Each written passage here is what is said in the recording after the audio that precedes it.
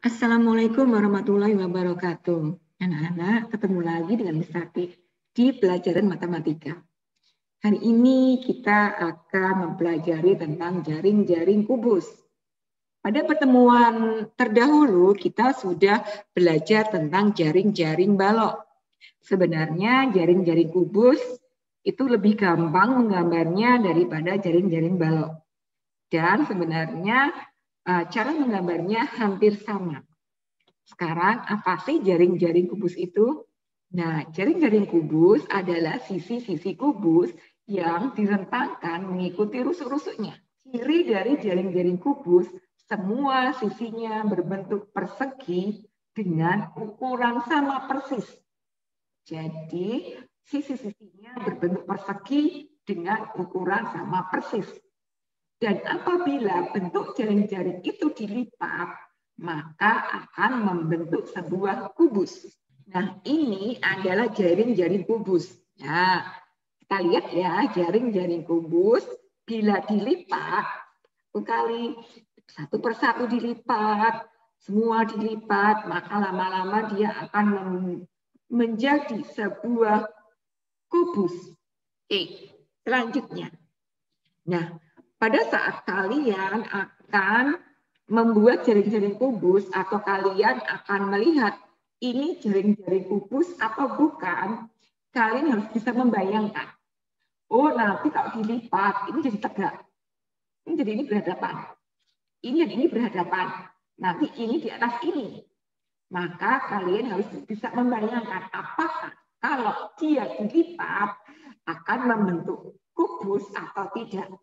Nah, kira-kira ini jaring-jaring kubus bukan ya?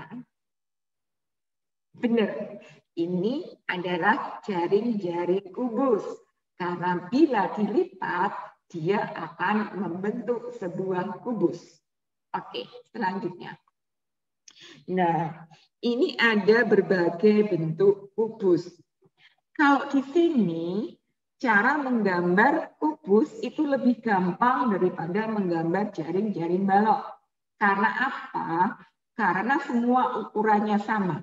Ini dan ini harus sama. Ini semua sama, ini sama, ini sama, sama, sama, sama semuanya. Dan ini adalah bentuk-bentuk kubus atau bentuk-bentuk jaring-jaring kubus. Ini adalah gambar jaring-jaring kubus.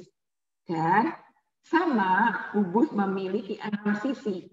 Maka di sini sisinya harus ada enam. Satu, dua, tiga, empat, lima, enam.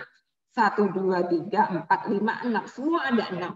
Dan untuk kubus, semua ukuran sisi-sisinya apa ini? Ukuran e, rusuk-rusuknya semua sama.